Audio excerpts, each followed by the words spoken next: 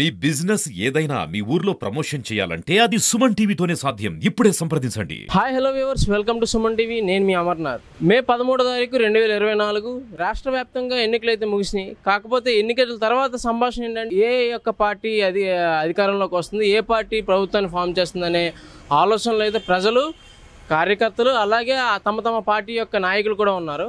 మన ప్రజెంట్ దాసరి శ్రీనివాసరావు గారి దగ్గర ఉన్నామండి. ఈ మధురవాడ విశాఖపట్నం భీమిలి నియోజకవర్గం ఆరో వార్డు అధ్యక్షులు.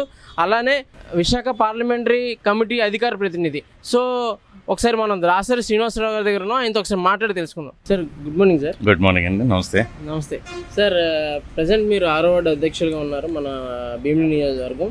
కా కాకపోతే ఎలక్షన్స్ ఎలా జరిగినాయి అంటారు బాగా జరిగినాయి అండి స్వేచ్ఛాయుత వాతావరణంలో జరిగినాయి చాలా ప్రశాంతంగా జరిగినాయి. పోలింగ్ కూడా అంటే పర్సంటేజ్ ఆఫ్ పోలింగ్ కూడా బాగానే జరిగింది. బాగా గతంలో పోల్చుకుంటే త్రీ పర్సెంట్ ఎక్కువ జరిగింది మంచిగానే జరిగిందండి సో ఏ పార్టీ ప్ర- ప్రభుత్వాన్ని ఏర్పాటు చేస్తుంది దీంట్లో ఎటువంటి డౌట్ లేదండి అసలు అనుమానం కూడా లేదు. నారా చంద్రబాబు నాయుడు గారి రాష్ట్ర ముఖ్యమంత్రి కాబోతున్నారు. మంచి మెజార్టీతో నూట ఇరవై నుంచి నూట ముప్పై సీట్లు ఇక్కడ ఆంధ్రప్రదేశ్లో మళ్ళీ పురాణ నిర్మాణం జరుగుతుందండి ఆంధ్రప్రదేశ్లో. భీమిలీలో ఎవరు వస్తారు? గంటా శ్రీనివాసరావు గారు పాతికేలు మినిమం పాతికేలు మెజార్టీతో రాబోతున్నారు. అతిశయోక్తే కాదు అది. సో అంటే ఎలా అనిపిస్తుంది అంటే గంటా గారు కంపల్సరీ గెలుస్తారన్న నమ్మకం ఎలా ఉంది? హండ్రెడ్ పర్సెంట్ గతంలో ఆయన చేసిన ఎలక్షన్ విధానం కానీ గతంలో రెండు వేల పద్నాలుగు నుంచి పంతొమ్మిది నుంచి ఈ ప్రాంతానికి ఆయన చేసిన అభివృద్ధి కానీ ప్రజల్లో ఆయనకు ఉన్న ఇమేజ్ కానీ పర్సనల్ ఇమేజ్ కానీ అలాగే ఈ రోజు ఉన్న జగన్మోహన్ రెడ్డి మీద పార్టీ మీద వ్యతిరేకత అలాగే అవంతి శ్రీనివాసరావు మీద వ్యతిరేకత అలాగే నారా చంద్రబాబు నాయుడు గారు పవన్ కళ్యాణ్ బీజేపీ కలిసిన కూటమి విజయం సాధించడం దీంట్లో తజ్జువాడిని అంటే ఒక మూడు పార్టీలు కలిసి ఒక పార్టీ మీద పోటీ చేయడాన్ని ఏ విధంగా చూస్తాం ఒక పార్టీ మీద పోటీ చేస్తున్నారని మీరు ఎందుకు అనుకోవాలి?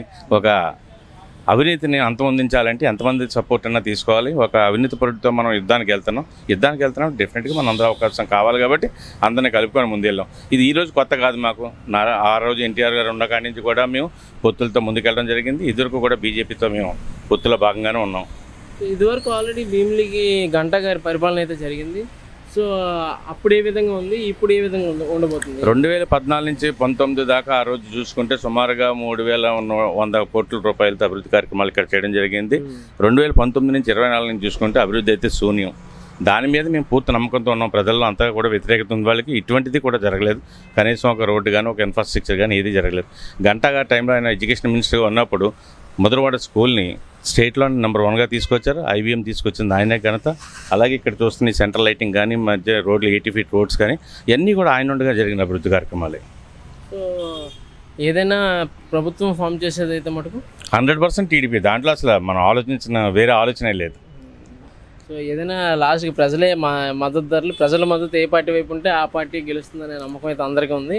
సో ప్రజలకు సపోర్ట్ తీసుకోవడంలో వైఎస్ఎస్సిపి పార్టీ పార్టీకి అండ్ తెలుగుదేశం పార్టీకి పోలిస్తే ఏ పార్టీకి ప్రజాదరణ ఎక్కువ ఉందంటారు? ప్రజాదరణ ఉంది కాబట్టి ఈరోజు మేము గెలుస్తానని గ్యారంటీగా చెప్పగలుగుతున్నాం. ఎందుకంటే ప్రజలు విసుకెక్కిపోయారు. జరిగిన ఐదు సంవత్సరాలు అన్ని వర్గాలు ఒక వర్గం అని కాదు. ఫస్ట్లో ఆయన రావడం రావడంతో ఏదైతే ప్రజా కంటక పాలనతో మొదలుపెట్టాడు. ఆయన ఇలాగ ప్రమాణ స్వీకారం చేసిన మరుక్షణమే ఆ ప్రజావేదిక కూల్చివేత కానీ అమరావతి నిర్మాణం జరగకపోవడం కానీ మూడు రాజధానులు అనడం కానీ ఓ రైల్వే జోన్ తేలాపోవడం కానీ ఈ రోజు దాకా ఎంత మనం ఆశాస్పదంగా ఉందంటే పిల్లల ఎడ్యుకేషన్లో కూడా నిన్న టెన్త్ క్లాస్ సెవెంత్ క్లాస్ ఎగ్జామ్స్లో కూడా ఆంధ్రప్రదేశ్ రాజధాని ఏదంటే రాజధాని చెప్పుకోలేని పరిస్థితి. ఎందుకంటే ప్రజలు ఇంకా ఆయన్ని ఆదరిస్తారు అనుకోవడం కూడా మనం నవ్వుకోవాలి తప్ప ఇంకేం ఉండదండి. Okay sir. And thank you so much sir thank you so much thank you so మనం ఇప్పుడు ఆరో వార్డుకి సంబంధించి వైఎస్సీపీ సెక్రటరీ అయినటువంటి పోతిన్ ప్రసాద్ గారి దగ్గర ఉన్నాం. ఒకసారి ఆయన మాటలో తెలుసుకుందాం. సార్ నమస్తే అండి. నమస్తే అండి. సార్ ఎలా జరిగినాయి ఎన్నికలు అంటారు? చాలా బాగా జరిగాయి. బాగా జరిగినాయి. సో ప్ర ప్రభుత్వంలోకి ఏ పార్టీ వస్తుంది అనుకుంటున్నారు? వైఎస్ఆర్సీపీ వస్తుంది. అంటే ప్రభుత్వం ఫామ్ చేసేది వైఎస్ఆర్సీపీ. ఎందుకని అటు మూడు పార్టీలు కలిపి ఒక కూటమి ఉన్నాయి?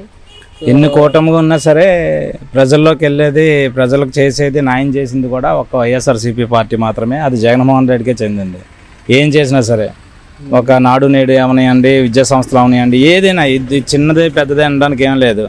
చెయ్యతో సహా మహిళలతో సహా ప్రతిదీ కూడా చిన్న చిన్న స్థాయి నుంచి పెద్ద స్థాయి వరకు న్యాయం చేశారంటే ఒక్క జగన్మోహన్ రెడ్డికే చెందింది అది. కావున జనాల పట్ల ఆ అభిమానం నమ్మకం జగన్మోహన్ రెడ్డి వస్తే మాకు ఈ పథకాలు వస్తాయి మా ఇంటికే పెన్షన్ వస్తుంది మా ఇంటికే పథకం వస్తుంది ప్రభుత్వం మా ఇంట్లో తలుపు కొట్టి మా ఆరోగ్యం చెక్ చేస్తుంది మా ఆరోగ్యం చూసుకుంది. ఒక ఇప్పుడున్న పరిస్థితిలో సొంత తల్లిదండ్రులు కాదు అన్నదమ్ములు కాదు ఎవరు. ఎవరో కూడా చూడలేని పరిస్థితిలో ఒక అన్నదమ్ముడై ఒక తండ్రి అయ్యి ఒక అన్నయ్య ఒక ఆదర్శ పురుషుడై ఈరోజు అంత అందరికీ కూడా అంత మేలు చేస్తున్నట్టు ఒక చా జగన్మోహన్ రెడ్డి మాత్రమే. అది- ఆయన ఆయన వస్తేనే మళ్ళీ ఈ పేద ప్రజలందరూ కూడా బాగుంటారు అనేసి అదే నమ్మకంతో ప్రజలు కూడా ఉన్నారు. సంక్షేమమే తప్ప అభివృద్ధి లేదని కూడా అంటున్నారు పలు వర్గాలు. దాని గురించి ఏమంటారు అది భ్రమ. అభివృద్ధి లేదని ఎలాగంటారు? తెలియదేముంది? విశాఖపట్నం క్యాపిటల్గా తీసుకొని వస్తాను అన్నాడు అది అభివృ- అభివృద్ధి కాదేటి? వేల కోట్ల రూపాయలు తీసుకుని వెళ్ళి అమరావతిలో తగలెట్టేస్తే అది అభివృద్ధి అయిపోద్ది ఏంటి ఎక్కడ బూస్టింగ్ ఉందనేది అక్కడ బూస్టింగ్ ఇస్తే అభివృద్ధి అవుతుంది కానీ శ్వసన దెబ్బల్లో వెళ్ళి బిల్డింగ్లు కట్టేసినట్టు అవుతుందా? అది అవ్వదు. అది బూస్టింగ్ మనకి రాజధాని ఆర్థిక రాజధాని ఏదైనా ఉందంటే మాత్రం అది విశాఖపట్నమే. అది విశాఖపట్నంలోనే అది క్యాపిటల్ పెడితేనే ఇంకా అభివృద్ధి అవుద్ది. అంతేగాని ఇంకెక్కడో అనుకుంటే అది జరగని పని అది. సో భీమిలి విషయంకి వచ్చేసరికి గంటా శ్రీనివాసరావు గారు ఒక పక్క అండ్ అవంతి శ్రీనివాసరావు గారు ఒక పక్క. సో ఎలా ఎలాగ అంటే ఎవరు గెలుస్తారు అనుకుంటున్నారు ఈయన అవంతి శ్రీనివాసరావు గారు ఎట్టి పరిస్థితుల్లో గెలుస్తారండి. ఎందుకంటే ప్రజల్లో మనిషి ప్రజల ఇంటికి వెళ్ళి కష్టం తెలుసుకొని తీర్చుకునే మనిషి ఎవరైనా ఉన్నారంటే అది ఒక్క అవంతి శ్రీనివాస్ మాత్రమే. అదే గంట శ్రీనివాసరావు చెయ్యి ఊపుకొని వెళ్ళిపోయి గేట్ కాపలా తప్ప సుఖం లేదు. ఆయన మళ్ళీ ఎలా నమ్ముతారు జనాల్ని? జనాలు. అది. సో ఇప్పుడు మీకు మామూలుగా వైసీపీ ప్రభుత్వం ఫామ్ చేస్తుందంటే ఎన్ని సీట్లు రావచ్చు మీ అంటే ఎన్ని సీట్లు రావచ్చు మీ అంచనా? One seventy five one seventy five పక్క. చూడవలసిన అవసరం లేదు. అంటే జరిగే పని జరిగే పని అయితే అవుతుందంటారా? పక్కాగా ఎందుకు రాకూడదు అనుకోవాలి. మా ఆల్రెడీ మా జగన్మోహన్ రెడ్డి గారే చెప్పారు. ఎందుకు రాదు? ప్రస్తుత సినారియోలో ఎన్ని సీట్లు వస్తాయి అనుకుంటున్నారు వైసీపీకి? ఇంకా లేదండి. One seventy five one seventy five పక్క. చూడాల్సిన పని లేదు.